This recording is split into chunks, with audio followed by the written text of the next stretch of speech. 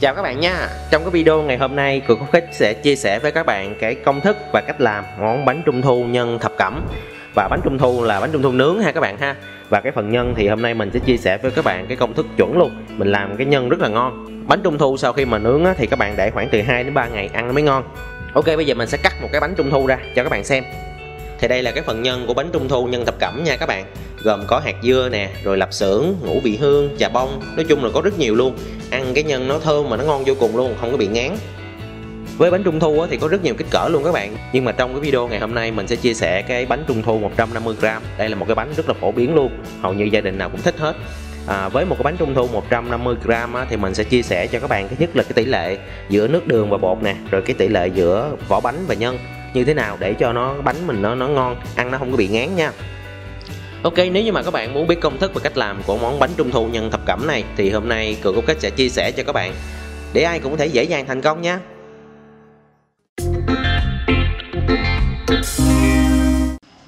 Rồi bây giờ để làm cái bánh trung thu à, nhân thập cẩm thì đầu tiên về cái phần vỏ thì các bạn cần chuẩn bị cho mình ở đây là bột mì.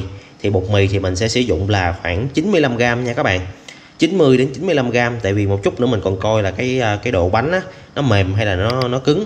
Nếu như mà nó mềm thì mình cho mình chừa lại khoảng một muỗng canh. Đây ví dụ như các bạn cho các bạn chừa lại khoảng một muỗng canh.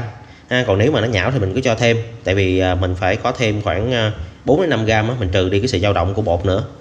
Rồi à, nước đường.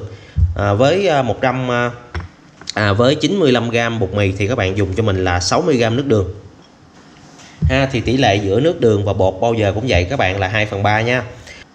Bột ngũ vị hương cái này là bột ngũ vị hương ha mình dùng khoảng nửa gam thôi à, à nó khoảng 1 phần à, tư thì cà phê á các bạn. Một cái lòng đỏ trứng gà và 10 ml dầu ăn. Ngoài ra để cho cái bánh của mình nó có cái độ béo và cái màu đẹp á, thì các bạn không thể nào thiếu được cái phần bơ đậu phộng ha. Mình dùng ở đây khoảng 10 gram 10 gram bơ đậu phộng. Thì đây là tất cả những cái nguyên liệu để mình làm cái phần à, vỏ của bánh trung thu nhân thập cẩm. Bây giờ mình sẽ giới thiệu với các bạn cái phần nhân và đây là tất cả những cái phần nhân thập cẩm mà mình dùng ngày hôm nay. À, nhân thập cẩm dành cho bánh trung thu thì nó không cố định một cái loại nhân nào. Thông thường người ta thích ăn cái nhân nào thì người ta sẽ sử dụng cái nhân đó. Ví dụ như hôm nay mình dùng cái nhân thập cẩm là gồm có lạp xưởng nè cái này là hạt sen à, vỏ quýt à, vỏ quýt hay là gọi là mứt à, vỏ quýt đó các bạn ha. À, trà bông ruốc à, hạt dưa cái này là mỡ đường. Rồi à, mứt bí hạt mè mè trắng và rượu mai quý lộ. Ha cái này là rượu mai mai quý lộ nè thì về cái phần lạp xưởng thì các bạn dùng cho mình là 30g lạp xưởng với lại ba cái đá chanh. À, mình làm hôm nay mình làm ba bánh nha các bạn. Ba bánh trung thu thì mình sẽ sử dụng khoảng ba cái đá chanh để mình tạo cái mùi thơm. Rồi à, hạt sen. Hạt sen thì các bạn dùng cho mình là 25g hạt sen. Rồi à, vỏ quýt. Vỏ quýt thì các bạn dùng 25g vỏ quýt luôn. Hạt dưa thì các bạn dùng cho mình là 25g hạt dưa 25g à, mứt bí 25g mỡ đường. Rồi mè trắng thì các bạn dùng 5g 20ml rượu ma quý lộ. Đây nè 20ml đó thì đây là tất cả những cái nguyên liệu. À còn cái phần để cho cái sự tạo sự kết dính trong cái phần nhân á thì mình sẽ sử dụng là cái bột bánh dẻo. Đây là cái gói bột bánh dẻo nè. À, thì cái bột bánh dẻo này thì nó còn tùy các bạn nha. Một chút nữa mình sẽ cho vào từng chút một. Đến khi nào mà cái nhân mình có thể bò viên được thì mình ngưng mình không cho. Nó không có cái một cái liều lượng cố định nào hết. Thì chút nữa mình sẽ làm để mình chia sẻ với các bạn cái bước đó sau thì đây là gồm có tất cả những cái phần nhân để mình làm bánh trung thu. À, hôm nay thì mình không có làm trứng muối. Hôm sau thì mình sẽ chia sẻ với các bạn cách làm món à, bánh trung thu nhân thập cẩm trứng muối nữa nha. Đầu tiên để hấp cái lạp xưởng thì các bạn chuẩn bị một cái nồi nước. Mình sẽ lót một cái chén bên dưới rồi mình đặt cái dĩa lên trên. À, như thế này mình hấp cách thủy với các bạn. Rồi à, mình hấp khoảng 10 phút bắt đầu từ lúc mình bắt lên bếp á, mình hấp với lửa vừa. Hấp khoảng 10 phút là cái này nó cũng coi như nó gần chín rồi chút nữa mình còn nướng nữa mà ha. Nhưng mà mình phải hấp cho nó chín trước nha các bạn. Chứ còn mình nướng không á, thì nó không có đủ cái nhiệt độ để làm chín cái lạp xưởng này đâu. Nha nên mình phải hấp trước. Về cái vỏ chanh á, thì các bạn nhớ tước đi cái sóng lá nha các bạn. Cái sóng này nó dai á, ăn nó không có được. Chanh thì các bạn có thể dùng là lá chanh à, à lá chanh chứ không phải vỏ chanh các bạn. À, chanh giấy nè hoặc là lá của cây chanh đào. Thì cái uh, lá chanh này các bạn muốn mua thì các bạn ra chợ các bạn mua ví dụ như chợ nếu mà không có bán các bạn tới những cái chỗ người ta bán gà thông thường à, ngộ gì đó những chỗ người ta bán gà thông thường người ta cũng có bán thêm cái lá chanh này. Tại vì người ta hay mua gà với lại lá chanh chung á các bạn. Nên là nếu giả sử mà các bạn mua ở chợ tới quầy rau mà không có đó thì các bạn nhớ nha các bạn tới những chỗ người ta bán gà các bạn hỏi thử xem là người ta có bán lá chanh hay không. À, các bạn cắt thành những cái sợi nó dài dài mà nó mỏng mỏng nha các bạn nha. Chút nữa mình sẽ cho vào trong cái bánh. À, về cái chà bông này nè thì các bạn phải dùng kéo các bạn cắt ra. Nếu mà các bạn không cắt á, thì cái uh, phần chà bông á, nó làm cái uh, cái nhân của mình á, các bạn nó rất là dai. Khi mà mình người ta ăn người ta cắn á, nó không có đứt được. Nên là bắt buộc là trước khi mà mình làm mình phải cắt ra cắt nhỏ ra. Lưu ý các bạn nha ví dụ như trà bông á, ví dụ như các bạn có mua cái loại mà sợi nó dài hay là sợi ngắn gì cũng vậy các bạn cũng phải cắt ra. Rồi bây giờ mình sẽ bắt đầu là mình nhồi cái phần bột. Đầu tiên thì mình sẽ cho vào đây là cái phần nước đường ha các bạn ha 60g nước đường. Nước đường thì cô cũng khách đã có cái video chia sẻ với các bạn cái cách nấu nước đường nè, rồi cái tỷ lệ nấu nước đường như thế nào để cho nó ngon, để được lâu. Các bạn mà chưa xem thì có thể là xem lại cái video đó nha. Phải phải phải nấu nước đường, phải có cái nước đường này mới làm bánh được nha các bạn. Rồi, tiếp theo thì mình sẽ cho vào đây là một cái lòng đỏ trứng gà. Đây, mình sẽ cho vào đây là một cái lòng đỏ trứng gà. Dầu ăn thì mình cho là 10 ml dầu ăn và 10 g bơ đậu phộng. Tạm thời là mình khuấy cho cái phần lòng đỏ và đường và bơ này nó tan ra trước nó hòa quyện lại với nhau trước nha các bạn. Rồi bây giờ mình sẽ cho bột vào. Và mình sẽ cho bột mì từ từ vào đây ha. Các bạn chừa lại khoảng một muỗng canh nha các bạn. Một muỗng canh ban đầu mình có nói đó. Để xem là cái phần bột của mình hôm nay là nó nhão hay là nó khô. Để mình biết là mình cho thêm. Rồi à, bột ngũ vị hương khoảng nửa gam bột ngũ vị hương mình sẽ trộn đều cái phần bột này lên. Bột mì thì hôm nay là mình dùng là bột mì đa dụng. Bột mì đa dụng là một trong những loại bột mì mà các bạn có thể dễ dàng mua được nhất. Trong chợ cũng có bán nè, và trong siêu thị hay là những cái cửa hàng tiện lợi đó cũng có bán luôn. Rồi cái bột mà để làm bánh trung thu cũng có nữa các bạn. Thì chủ yếu là nó nằm ở cái phần à, phần trăm protein đó người ta pha sẵn cho mình. Ví dụ như các bạn muốn làm cho cái vỏ bánh ăn nó mềm mại thì các bạn dùng bột mì số 8 ha, thì cái phần trăm protein thì nó cỡ 8 phần trăm á. Còn không thì các bạn dùng à, bột mì số à, 11 cho mình. Ha, bột mì số 11 thì ăn cái bánh nó sẽ cứng hơn. Còn cái bột mì à, đa dụng này nè thì cái phần trăm protein thông thường thì nó khoảng là từ 9,5 các bạn đến 10,5 rồi 11 phần trăm. Cái phần trăm protein á nên là cái bánh của mình nó sẽ không có quá mềm và cũng không quá cứng ăn rất là ngon bây giờ mình sẽ nhồi thử ha các bạn ha. Các bạn nhồi thử để xem là cái bột của mình nó có bị à, nhão quá hay không. Nếu mà nó nhão thì mình sẽ cho cái phần bột còn lại này cho phần bột này vào. Còn giả sử như mà cái phần bột của mình nó đã khô rồi mình có thể nhào à, mà nó cứng bánh rồi đó thì mình không cần là phải cho cái bột mì đó vào nữa ha. Tại vì khi mà các bạn mua bột mì ấy, thì nó cũng ăn thua là bột mì mới hay bột mì cũ nữa nó hút nước cũng khác nhau á. Nên là mình canh thì mình cũng phải trừ hao ra. Đó mình cho vào nửa muỗng canh trước rồi mình nhồi. Mình nhồi xem là cái bột mình nó cứng được chưa nếu mà nó cứng được rồi thì thôi, còn chưa thì mình cứ cho hết cái phần bột đó vào, là khoảng 95 gram bột. Tỷ lệ giữa cái phần à, nước đường và bột của các bạn, thông thường thì nó sẽ là 2 phần 3 nha. Ví dụ như các bạn cho là 60 gram à, nước đường thì là 90 gram bột. Cứ như vậy nha các bạn. Đương nhiên thì nó cũng à, sẽ có cái sự dao động của nó. Ví dụ như có thể là trên là khoảng 5 gram 7 gram gì đó. Bây giờ các bạn sẽ nhồi cái khối bột này khoảng 5 phút nha các bạn 5 đến 10 phút thông thường khi mà các bạn nhồi bột á bao giờ cũng vậy. Ban đầu nhồi thì nó sẽ rất là nhão và mình nhồi một hồi thì nó sẽ khô cái khối bột hơn và nó cứng hơn. Giả sử như ban đầu nhồi á, mà các bạn thấy nó nhão mà mình cho thêm cái bột à, áo quá nhiều thì cái bánh mình ăn nó sẽ rất là cứng bánh trung thu á. Ăn rất là cứng ăn giống như bánh quy vậy đó. Nó không có cái độ mềm. Và khi mà các bạn nhồi bột thì các bạn nhớ là mình cầm cái cục bột lên thì mình quăng nó xuống như thế này. Ha các bạn ha. Để cho cái cục bột mình nó dai và nó ngon hơn. Cái tấm này là cái tấm à, silicon đó các bạn mua ở trong những cái cửa hàng bán dụng cụ và nguyên liệu làm bánh hoặc là các bạn cũng có thể là mua online ở trên uh, Shopee á. Ha để mình về mình làm mấy cái này. Cái này thì nó có sẵn cái cm luôn nè. Các bạn làm bánh pizza rồi nó dễ lắm. Ha các bạn cứ việc nhồi khoảng 5 7 phút gì đó rồi mình ủ. Lấy các bạn bọc thực phẩm á, các bạn bọc kính lại. Rồi các bạn ủ khoảng ờ, ờ, uh, 30 phút đến một tiếng nha các bạn nha giả sử như mà nhà các bạn không có cái cân á, để mình đông đo cái phần bột và phần nước đường này á, thì các bạn dùng cái muỗng canh hoặc là dùng cái chén cũng được. Ví dụ như ờ, bột các bạn cho là ba chén thì cái phần nước đường mình cho là hai chén thôi. Giả sử như mà mình làm trong quá trình mình làm mình cân chén thì nó không chính xác đúng không? Mà cái ờ, bột mình nó bị khô á thì các bạn sẽ cho thêm một là các bạn cho thêm cái phần dầu ăn hai là mình sẽ cho thêm nước đường. Còn nếu mà bột mình nó bị nhão thì các bạn cứ việc cho thêm bột để mình nhồi giả sử như mà nhà không có cân thì các bạn cũng có thể dùng bất kỳ một cái gì các bạn đông đo được hết. Chén nè hoặc là cái muỗng canh. Đây bây giờ cái khối bột sau khi mà các bạn đã nhồi được khoảng à, 10 phút rồi thì bây giờ mình cho nó vào trong một cái tô hay là một cái chén gì đó. À, mình sẽ dùng cái màng bọc thực phẩm các bạn bọc lại để mình ủ nó nha các bạn nha. Rồi bây giờ chuẩn bị mình để làm cái phần à, nhân. Cái vỏ quýt này nha thì các bạn cũng cắt nó nhỏ nhỏ ra. Nó cỡ giống như là cái mức hạt dưa hay là hạt bí á các bạn nha. Các bạn cắt bự quá một chút à, mình làm cái bánh xong mình cắt ra nó cũng khó lắm nên là các bạn phải cắt nó nhỏ nhỏ. Nhưng mà quan trọng nhất vẫn là cái phần chà bông á. Chà bông thì các bạn phải à, cắt nó ra, cắt nhuyễn nó ra. Có thể là có nhiều bạn sẽ biết rồi, nhưng mà có nhiều bạn chưa biết thì à, mình sẽ ghi cái công thức trong cái phần mô tả của video nha các bạn nha. Tất cả những cái video trên kênh của Cục Khách mình đều ghi cái phần công thức trong cái mô tả hết. Các bạn chỉ việc lấy điện thoại ra rồi mình chụp lại thôi, rồi các bạn chuẩn bị. Rất là dễ. Thậm chí là ví dụ như những bạn, với những bạn nào khiếm thính á thì mình cũng có ghi cái phần cách làm luôn, cách làm rồi những cái lưu ý luôn trong phần mô tả của video. Rồi, đầu tiên thì mình sẽ đi rang cái phần hạt dưa trước nha các bạn. Hạt dưa thì mình rang khoảng à, 2 phút 3 phút đi, rồi các bạn cho mè vào các bạn rang mè thì thời gian rang nó nhanh hơn á, nên là nếu mà mình rang cùng lúc luôn là cái mè có thể nó sẽ bị cháy. Ở trên mạng bây giờ người ta cũng có bán sẵn những cái gói combo là gồm có, là gồm có tất cả những cái phần nhân thập cẩm luôn đó các bạn người ta sẽ vào những cái túi rất là ít ví dụ như là 100g hoặc là 200g để mà mình mua về mình làm trong gia đình á. Trên mạng bây giờ nhiều trang web mà bán mấy cái nguyên liệu này lắm. Các bạn tìm những cái trang web nào lớn á nó uy tín một chút nha. Hồi trước mình cũng tính đi vào một cái ờ, một cái siêu thị nó cũng có thương hiệu lắm các bạn. À, để mình quay những cái uh, thực phẩm như thế này nè để mình giới thiệu cho các bạn á. Là ví dụ như cái này thì nó là à, một ký nó là bao nhiêu rồi mua cái này ở đâu nhưng mà siêu thị thì à, mình liên hệ với bên siêu thị thì họ lại không không cho quay ghi hình. Họ sợ là tiết lộ giá ra bên ngoài các bạn. Rồi cạnh tranh thế này thế kia gì đó.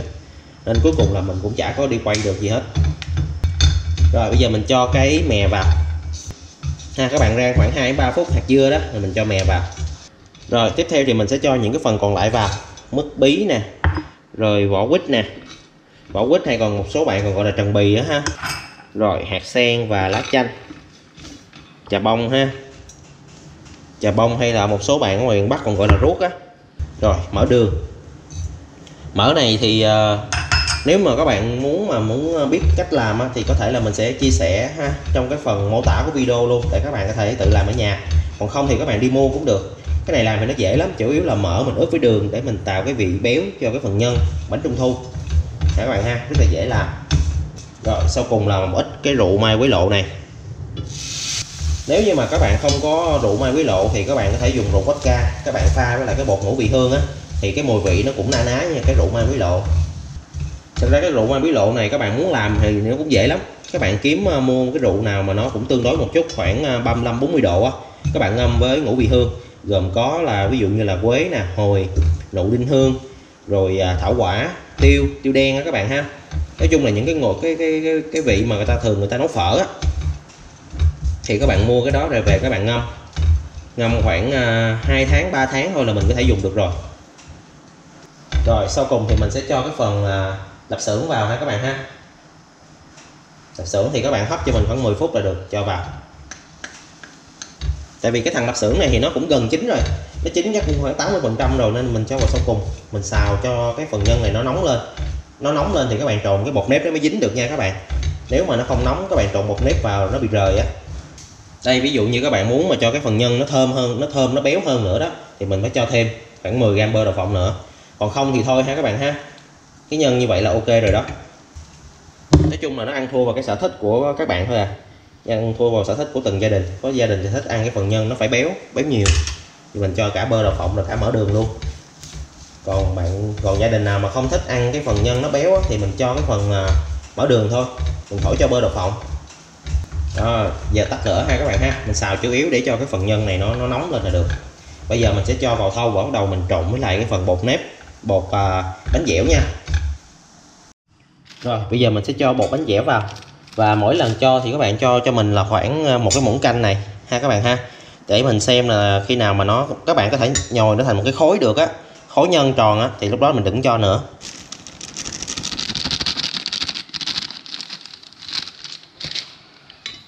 Bột bánh dẻo thì không có bất kỳ một cái loại bột nào có thể thay thế được nha các bạn. Bắt buộc là phải dùng bột bánh dẻo. Đó, khi nào mà các bạn nhồi mà các bạn bóp lại mà nó thành một cái khối như thế này. Ha, một cái khối chặt như thế này nè. Đó là mình đã làm được cái phần nhân rồi ha. Nó phải chặt lại thì mình mà làm nhân nó mới được. Chứ còn mà nó rời quá là mình làm nhân không được ha các bạn ha. Xong rồi mình sẽ đem đi cân. Cân rồi mình vò viên nó. Là mình đã làm xong cái phần nhân thập cẩm cho bánh trung thu rồi. Thơm phức rồi các bạn nếu mà giả sử như trong quá trình mà các bạn làm cái phần nhân này nè các bạn không có cái đồ đông thì có thể là nó sẽ dẫn đến cái tình trạng là à, cái à, cái nhân nó bị nhão. Nếu mà nhân nhão thì các bạn sẽ cho thêm những cái ví dụ như là trà bông nè nó sẽ hút nước nó làm cái nhân mình nó khô hơn hoặc là hạt dưa mè cũng được. Còn giả sử như trong trường hợp mà các bạn làm cái nhân nó bị khô thì các bạn có thể cho vào những thứ ví dụ như là dầu ăn hoặc là nước đường. Rồi à, nếu mà không có nữa thì các bạn cho thêm cái phần mỡ đường ha các bạn cái việc cho thêm mỡ đường vào.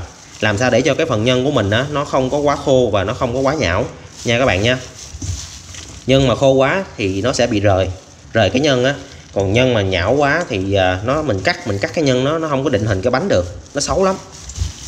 Đó đó là những cái lưu ý cho các bạn làm để làm cái phần nhân bánh à, trung thu thập cẩm cho nó ngon. Bây giờ cái nhân sau khi mà các bạn làm rồi thì các bạn phải nên cân lại xem là nó là bao nhiêu để mình biết mình chia nó cho nó chính xác đó các bạn. Rồi thì ở đây là mình có 282 gram nhân ha các bạn ha. 208 là coi như là 209 đi 209 đi à, 207 đi chứ 207 đi. Rồi mình chia cho ba là nó được là 90 90 gram nhân là một cái bánh trung thu. Rồi bây giờ mình sẽ cho vào đây là 90 gram. Hoặc là có mỗi mỗi một cái nhân như vậy thì các bạn làm cho nó dư ha. Nó dư khoảng 5 gram là nó vừa luôn á. Khoảng 4 5 gram là nó vừa.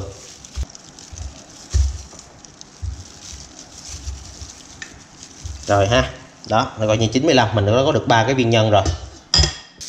Thêm một cái lưu ý quan trọng cho các bạn là khi mà các bạn vo nhân bánh thập cẩm, nó khác với lại bánh ờ, chay nha các bạn, là các bạn phải vò cho nó thật là chặt luôn. Để cho bên trong nó không có bị rỗng. Bên trong mà bị rỗng là khi mà các bạn nướng á, nó sẽ bị cái hiện tượng là nó bị ờ, phồng cái bánh ra nha. Các bạn lưu ý nha. Là mình phải ờ, vò cho nó chặt cái viên nhân nhân mà chưa làm thì các bạn nên lấy một cái dĩa các bạn đậy lại để cho nó đừng có bị khô. Đó, các bạn làm xong cái nhân thì cái phần bột bánh thì cũng ủ cũng đã xong rồi. Bắt đầu là mình chuẩn bị là mình à, đúc khuôn. Rồi, cái bột mà sau khi mà ủ rồi bây giờ các bạn sẽ cân ha. Mỗi một cái khối bột như vậy nó là 60g thì lúc đầu là mình cho là 90g nhân á, thì cái bột mình cho là 60g thông thường tỷ lệ bột và nhân nó là 2 phần 3 các bạn. Hoặc là nếu mà các bạn muốn ăn cái bánh nó mỏng hơn thì các bạn dùng 1 phần 2 nha 1 phần 2 thì mình cho ở đây là 60g 6 60 65 gì cũng được các bạn. À, ở đây có 66 nè. 66g ok ha chính xác luôn. Để cho cái bánh mình nó không có bị dính thì các bạn có thể là cho một ít bột áo xuống cái nền. Ha các bạn ha một ít bột áo như thế này nè để cho nó bánh nó đừng có dính. Ha, cái bánh mà sau khi mà các bạn vo tròn rồi á các bạn đè cho nó dẹp ra. Và mình cán mỏng ha các bạn. Thông thường thì cái đường kính của cái bánh nó sẽ gấp đôi cái đường kính của cái à, nhân. Thì mình tấm nó lại thì nó vừa. Đây như thế này. Bây giờ mình sẽ cho cái nhân vào. Khi mà cho nhân vào các bạn nhớ lật ngược lại. Để cho cái phần bánh đó các bạn cái vỏ bánh đó, nó bao trọn cái phần nhân. Như thế này nè nha. Thì khi mà mình nướng cái bánh nó mới ngon nó không có bị phồng. Rồi bây giờ cái phần ở trên này thì các bạn miết bột lại thôi. Miết để cho bột nó kín lại. Sau khi mà các bạn miết bột kính lại rồi thì mình sẽ vo viên ha. Vo tròn chứ, vo tròn.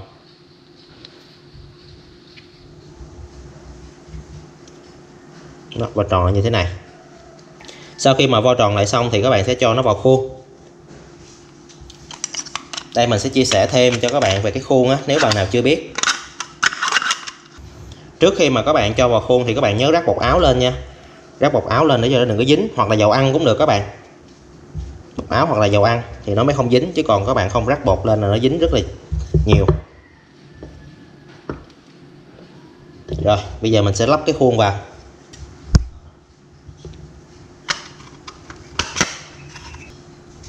Khi mà các bạn lắp cái khuôn vào, các bạn nhớ cài chốt lại ha, cái chốt ở dưới nè, để mình cài chút mình rút lên cho nó dễ. Đây, các bạn đặt cái khuôn vào ha, đè nó xuống. Rồi, các bạn ấn cái lò xo xuống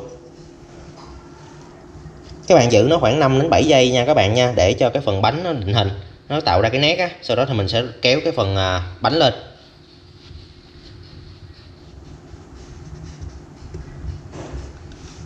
Đó mình có được một cái ổ bánh trung thu này nè. Bây giờ các bạn kéo nhẹ nhẹ nó ra.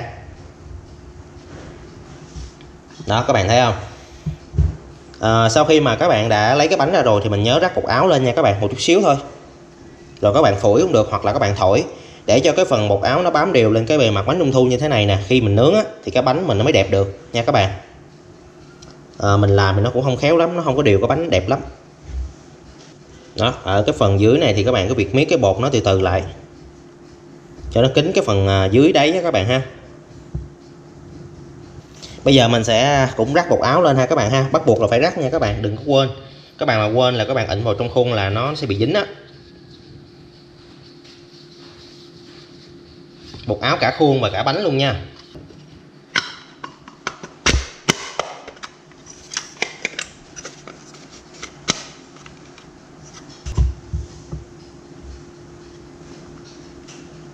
Đó các bạn có việc cho khuôn rồi các bạn đè xuống. À, sau khi đè xuống rồi thì các bạn cứ việc kéo cái lò xo lên để mình lấy bánh ra. Cái à, khuôn nào mà nó càng nhiều hoa văn á, là cái bánh nó càng khó lấy ha các bạn ha. Rồi bây giờ mình cũng rắc lên đây một chút xíu bột áo. Rồi như thế này là ok. Đây thì đây là ba cái ổ bánh trung thu mà mình vừa làm xong. Bây giờ mình sẽ cho nó vào trong lò nướng nha các bạn. À, bánh nướng thì các bạn sẽ đặt vào trong cái khay giữa của lò như thế này. Và mình sẽ nướng cái nhiệt độ là 180 độ C. Lần đầu nha các bạn lần đầu tiên là mình nướng cái nhiệt độ là 180 độ C dàn nướng thì nướng lửa trên, lửa dưới, quạt. Và các bạn nướng cho mình là 7 đến 8 phút. Sau khi mà nướng xong rồi thì mình sẽ lấy ra và mình xịt nước, rồi mình phết cái hỗn hợp trứng và sữa lên. Thì bây giờ trong thời gian mà mình đi ờ, nướng bánh này thì mình sẽ đi chuẩn bị cái hỗn hợp trứng và sữa nha, để mình phết lên bánh. Thì các bạn cần một cái lòng đỏ trứng gà. Tiếp theo thì các bạn sẽ cho mình vào đây là khoảng 3 đến 5 ml dầu mè.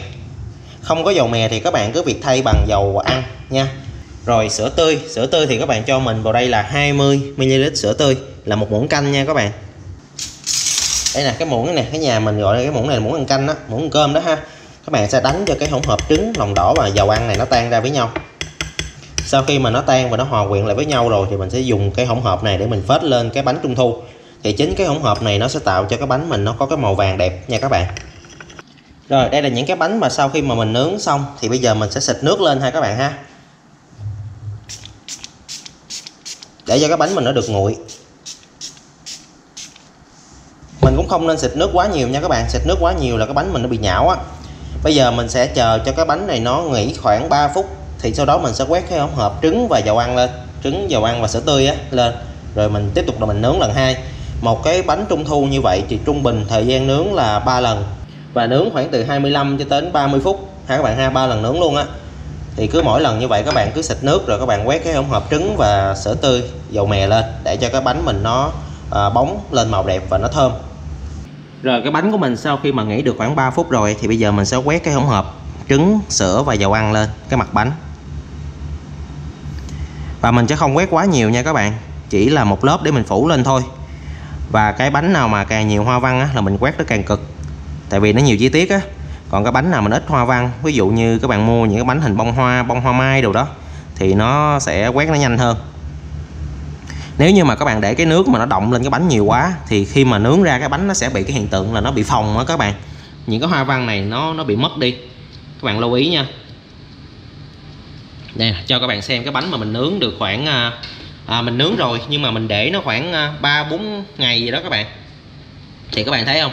Hoa văn là vẫn còn nét nào ra nét đấy và cái màu các bạn nhìn thấy nó khác biệt không? Đó thì cái bánh trung thu mà các bạn muốn cho nó cái màu nó đẹp thì bắt buộc là mình phải để khoảng từ à, 3 ngày nha các bạn nha 3 ngày 4 ngày thì cái màu nó mới lên nó mới đẹp được. Chứ còn bánh mà sau khi nướng xong á, thì nó sẽ không có lên được cái màu đó đâu mà mình phải để để khoảng à, 3 4 ngày gì đó thì nó mới lên được cái màu đẹp. Thì ở cái bước mà quét trứng và à, sữa tươi này nè rất là quan trọng luôn. Bạn nào mà làm mà nó không có kỹ á là cái bánh mình nó không có nét được hoa văn được vậy đâu. Cái bánh này á, thì là nhân ờ, nhân nhân dừa. Hôm bữa là mình làm thử á, các bạn cho các bạn xem là bánh nhân dừa. Hôm nay thì mình làm nhân thập cẩm.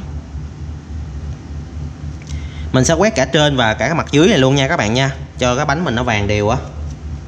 Nói chung là bánh trung thu ở nhà ăn thì nó dễ và nó ngon. Nó ngon hơn là các bạn mua bên ngoài nhưng mà bánh mà có đẹp hay không là nó tùy vào cái độ à, khéo tay rồi nó tỉ mỉ của từng bạn nữa, ha. Với lại khi mà các bạn làm ở nhà như thế này nè, thì mình có thể làm mình biếu biếu cho ông bà, cho người thân. Rồi, cái bánh sau khi mà các bạn đã quét một cái lớp trứng, sữa và dầu lên rồi thì các bạn các bạn cho lại vào trong lò nướng. Mình sẽ nướng tiếp lần thứ hai. Lần thứ hai thì mình sẽ giảm nhiệt độ xuống. Lúc đầu mình nướng là 180 thì lần hai mình nướng khoảng 160 thôi các bạn ha, giảm xuống 20 độ. Rồi các bạn cũng nướng thời gian khoảng từ 7 đến 8 phút sau khi mà nướng lần hai xong mình cũng lấy ra rồi mình xịt hơi nước lên. Mình quét cái hỗn hợp trứng và sữa lên một lần nữa rồi mình cho tiếp tục là mình cho lại vào trong lò. Mình sẽ nướng tiếp lần thứ ba. Rồi sau khi mà mình nướng lần hai á, thì các bạn lấy bánh ra thì mình cũng xịt nước nha các bạn. Mời các bạn để cho bánh nó nghỉ khoảng 3 phút đi thì sau đó mình cũng tiếp tục mình quét cái hỗn hợp à, sữa và trứng lên nè. Ha rồi mình tiếp tục là mình nướng lần ba rồi, sau khi cái bánh trung thu mình nghỉ được khoảng 3 phút rồi đó, thì bây giờ mình cũng quét cái hỗn hợp trứng và sữa lên nha các bạn nha. Cứ quét đều như là cái bước một hồi nãy gì đó. Sau đó thì mình tiếp tục là mình cho lại vào trong lò nướng, mình nướng lần thứ ba. Rồi, sau khi mình quét lên xong thì mình sẽ nướng lần 3 ha các bạn ha, và mình sẽ giảm xuống 20 độ là 140 lần đầu nướng là 180 ừ, lần hai nướng 160 và lần 3 là 140 ha các bạn ha. Dàn nướng thì vẫn để lửa trên, lửa dưới cho mình rồi quạt và các bạn cũng nướng khoảng từ 7 đến 8 phút. À, sau khi mà nướng lần 3 rồi thì các bạn lấy ra luôn ha mình không có phải xịt nước và quét trứng nữa. Các bạn chỉ việc chờ cho bánh nó nguội thôi. Rồi thì đây là ba cái bánh mà mình vừa nướng xong. Thì các bạn chỉ cần nướng khoảng 3 lần là được nha các bạn. Và khi mà bánh mình nướng xong thì nó sẽ có cái màu như thế này. Nó vàng nhưng mà nó không có vàng quá đâu các bạn. Nó vàng kiểu như vàng trứng á. Cái màu vàng trứng á nó không có vàng quá. Các bạn phải để khoảng từ 2 đến 3 ngày. Thì khi đó thì cái bánh cái bột bánh này nè nó sẽ hút cái độ ẩm trong cái bánh ra. Rồi cái bánh nó sẽ mềm hơn và thứ hai nữa là cái màu của các bạn nó sẽ chuyển sang cái màu vàng đậm như thế này vàng sẫm nè. Rất là đẹp luôn. Thì thông thường các bạn thấy bánh bên ngoài thị trường á, thì nó sẽ có cái màu giống như thế này đúng không? Thực ra thì ban đầu mình nướng á các bạn là nó sẽ có cái màu vàng như vậy. Màu vàng kiểu vàng trứng á. Nhưng mà mình để khoảng từ 2 đến 3 ngày cho cái bánh nó hút cái ẩm á, độ ẩm từ trong cái phần nhân á thì cái bánh nó sẽ chuyển sang cái màu vàng hơn. Nên là khi mà các bạn nướng bánh trung thu ở nhà các bạn nhớ nha là mình đừng có nướng cho nó vàng quá nướng cho nó vàng quá đó, thì khi mà mình để khoảng 3 ngày thì bánh nó sẽ bị đen đen thui luôn nhìn nó rất là xấu. Nên là các bạn khi mà nướng thì lưu ý nướng khoảng 3 lần mỗi lần các bạn giảm cho mình xuống khoảng 20 độ C thì uh, cái bánh mình sẽ rất là ngon. À, và bánh trung thu sau khi mà nướng xong rồi thì nó sẽ cứng các bạn. Nó cứng nó, nó, nó không cứng giống như là bánh quy đâu nhưng mà nó cũng khá cứng ha. Các bạn phải để khoảng ờ, vài ngày á để cho cái phần mỡ cái phần dầu trong nhân nó tiết ra thì cái bánh mình nó sẽ mềm ăn nó sẽ ngon hơn còn bây giờ nếu mà các bạn muốn cắt nó ra thì nó sẽ rất dễ bị bể. Tại vì lúc này cái vỏ bánh nó nó giòn mà nó cứng á. Ha, các bạn lưu ý ha, là sau bánh sau khi mà nướng rồi thì mình ăn thì nó vẫn được, nhưng mà nó lại không ngon. Bánh dẻo cũng vậy nha các bạn. Bánh dẻo thì muốn ngon thì các bạn cũng phải để khoảng 3 ngày, hai, ba ngày gì đó, thì cái bánh nó sẽ chắc hơn, mình ăn cái bánh nó sẽ ngon hơn. Thì bánh trung thu nhân à, thập cẩm này cũng vậy luôn. Ok, thì hy vọng là qua cái video này, Cường Khúc đã chia sẻ với các bạn cách làm món bánh trung thu nhân thập cẩm tại nhà. Hy vọng rằng là các bạn sẽ thích món bánh này nha. Nếu như mà thích thì đừng quên bấm chia sẻ và bấm đăng ký channel để giúp mình đạt được 100.000 subscriber nha các bạn. Cảm ơn các bạn rất nhiều. Hẹn gặp lại các bạn trong những video tiếp theo.